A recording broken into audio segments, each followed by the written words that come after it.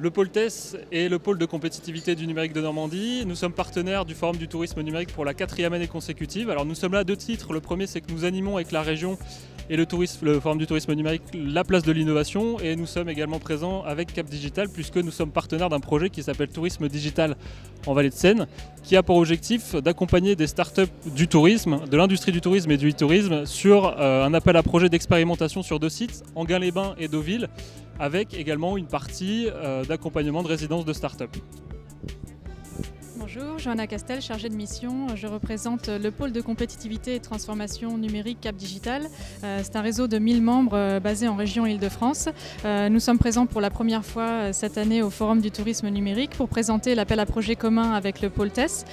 On ouvre cette semaine d'ailleurs le premier volet de cet appel à projet qui est un volet d'expérimentation in vivo in situ à Anguin-les-Bains pour que des startups qui travaillent dans le domaine du numérique, qui ont des projets ou des outils innovants puissent expérimenter leurs solutions euh, sur le territoire euh, d'Anguin-les-Bains. Voilà, donc on espère de ce salon euh, d'avoir plein de belles solutions à montrer pour cet appel à projet. Merci.